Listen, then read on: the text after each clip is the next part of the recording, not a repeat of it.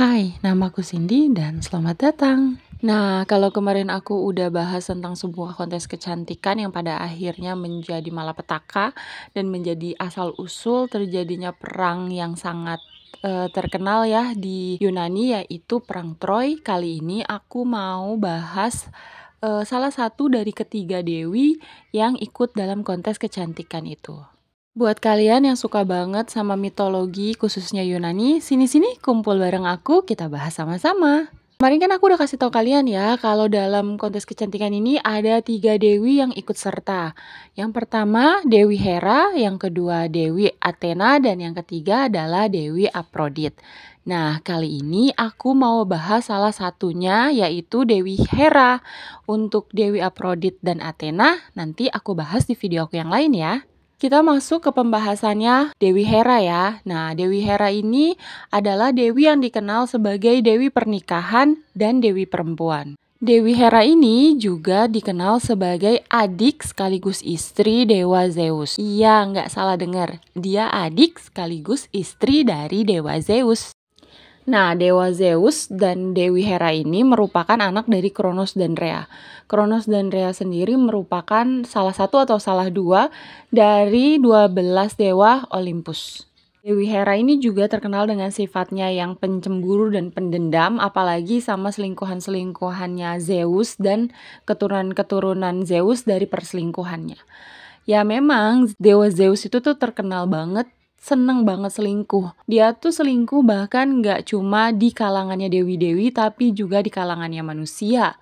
Dan bahkan ya Zeus juga pernah berselingkuh sama laki-laki loh. Tapi ya Dewi Hera ini nggak cuma sering berseteru sama selingkuhan-selingkuhannya Zeus atau anak-anak keturunannya Zeus, tapi dia juga punya dua orang yang dijadikannya kayak musuh bebuyutannya gitulah atau dendam kesumat kepada dua orang yaitu kepada Pelias karena melakukan pembunuhan di kuilnya Hera dan Paris yang gak memilih dia dalam kontes kecantikan yang kita bahas kemarin. Nah kita kembali nih ke kisahnya Dewa Zeus dan Dewi Hera. Nah sebenarnya kan seperti yang aku bilang tadi nih, si Dewa Zeus dan Dewi Hera ini kan adik kakak dari ibu dan bapak yang sama. Tapi tapi ternyata dewa Zeus itu memang karena mungkin uh, dirinya tuh kan memang haus banget sama perempuan ya. Jadi dia tuh berusaha juga untuk menaklukkan saudarinya sendiri. Walaupun udah berkali-kali nih Dewa Zeus mengungkapkan perasaannya kepada saudarinya ini, kenyataannya Dewi Hera itu nggak pernah mau. Dia tuh selalu menolak dan nggak mau lah pokoknya sama Dewa Zeus. Nah, karena keinginan besarnya Dewa Zeus untuk memiliki Dewi Hera, akhirnya dia tuh menggunakan siasat. Nah, siasatnya adalah Dewa Zeus ini merubah dirinya tuh jadi burung tekukur. Dewi Hera kan memang suka ya sama burung tekukur, makanya waktu ada burung tekukur masuk ke dalam ruangannya atau kamarnya gitu ya, Dewi Hera ini tuh kayak meluk lah gitu ya, meluk si burung tekukur ini tuh di dadanya. Nah, pas kejadian itu uh, Dewa Zeus tuh merubah dirinya kembali menjadi manusia. Terus Dewa Zeus ini melakukan tuh kayak tindakan pemerkosaan terhadap saudarinya sendiri. Dan untuk menutupi rasa malunya ya, akhirnya Dewi Hera ini setuju buat nikah dengan uh, saudaranya sendiri. Sebenarnya ya, Dewi Hera ini kan memang sudah dipersiapkan sama kedua orang tuanya untuk menjadi pemimpin para dewa dewi, dewa dewi di Olympus gitu. Tapi dia tuh menolak posisi ini, makanya adiknya Dewa Zeus itu e, menggantikan posisinya menjadi pemimpin para dewa-dewa di Olympus. Tapi setelah pernikahannya dengan Dewa Zeus, tentu aja secara tidak langsung dia pun menjadi ratu dan ya akhirnya memimpin juga kan para dewa-dewa di Olympus sana. Tempat kita tinggal ini, bumi, itu kan sebenarnya beradanya di galaksi Bima Sakti ya. Dan menurut mitologinya Yunani, penciptaan Bima Sakti ini juga berhubungan dengan Hera. Jadi tuh yang nyiptain uh, galaksi Bima Sakti itu sebenarnya adalah Hera.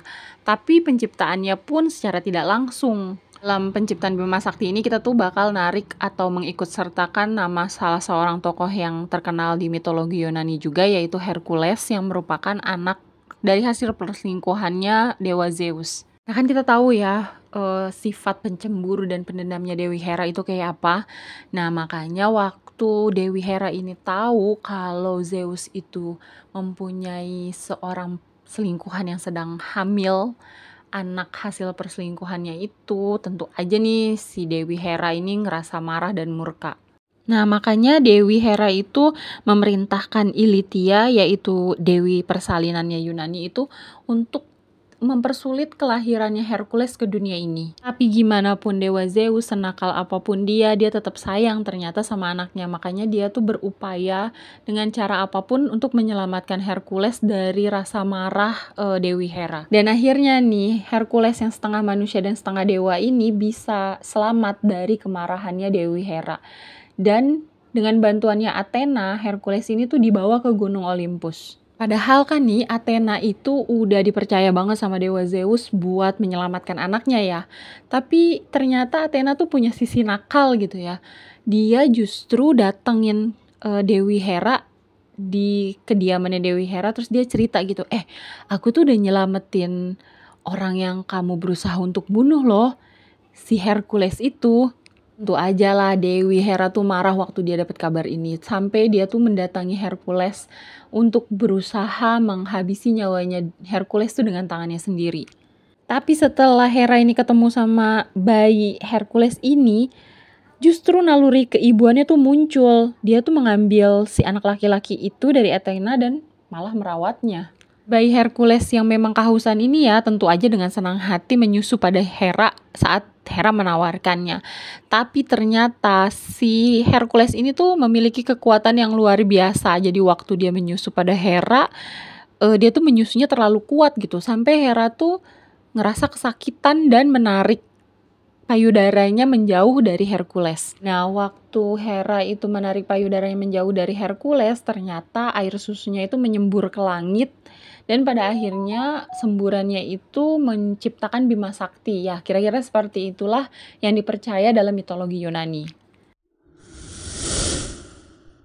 Mereka kan menikah ya dengan Dewa Zeus dan dari hasil pernikahan mereka itu mereka memiliki anak seperti Ares, Dewa Perang, terus ada Hebe, Dewi Masa Muda, ada Eris, Dewi Perselisihan, ingat kan Dewi Eris yang melemparkan apel emas yang akhirnya memicu perselisihan atau kontes kecantikan di antara ketiga dewi besar. Terus ada juga Eiletia yaitu dewi kelahiran. Dipercaya ya di mitologi Yunani bahwa dewa Zeus tuh bisa melahirkan sendiri tanpa istrinya. Nah, Dewa Zeus itu melahirkan Athena. Jadi Athena itu adalah anaknya Zeus tanpa pernikahan dengan siapa pun. Jadi dia ngelahirin dirinya sendiri aja gitu. Nah, lahirlah Athena. Nah, karena lahirnya Athena ini akhirnya si Hera itu tuh merasa iri karena kok suaminya punya anak sendiri. Kenapa saya tidak? Makanya si Hera ini pun melahirkan anaknya tanpa pernikahan atau tanpa laki-laki dan dia tuh melahirkan Hephaistos. Ternyata Hephaistos yang dilahirkan secara mandiri nih oleh Hera ternyata memiliki wajah yang buruk rupa.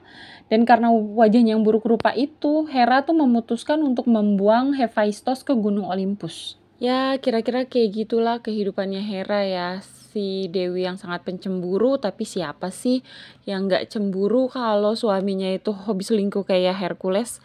Aku rasa sih semua orang juga bakalan kayak Hera.